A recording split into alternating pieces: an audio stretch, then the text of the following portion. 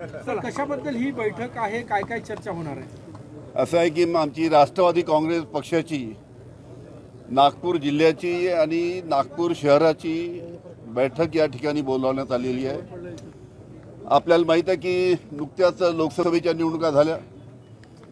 त्या लोकसभेच्या निवडणुकीमध्ये विदर्भातनं आम्ही एक जागा वर्ध्याची जागा राष्ट्रवादी काँग्रेस पक्ष शरद पवार साहेबांच्या पक्षाच्या माध्यमातून तुतारी चिन्हावर लढवली होती.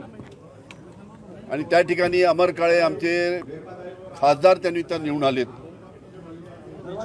आणि महाराष्ट्रामध्ये ज्या पद्धतीचं लोकसभेमध्ये मोठ्या प्रमाणात आमच्या जवळजवळ एकतीस जागा निवडल्या निवडून आल्यात. विदर्भात दहापैकी आठ जागा आमच्या महाविकास आघाडीच्या निवडून आल्यात. आता पुढील काळामध्ये विधानसभेची निवडणूक आहे.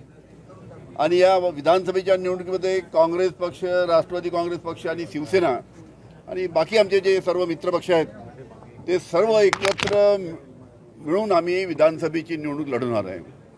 त्याच्यामुळे नागपूर जिल्ह्यामध्ये नागपूर शहरामध्ये आपण ज्या कोणती जागा मागायला पाहिजे नागपूर ग्रामीणमध्ये ज्या जागा आहेत त्याच्या व्यतिरिक्त अजून कोणती जागा मागा मागायला पाहिजे याच्याबद्दल आमचे जे सर्व पदाधिकारी आहेत सर्व सहकारी आहे यांच्याबरोबर इथे चर्चा करू त्यांचं मत ऐकून घेऊ.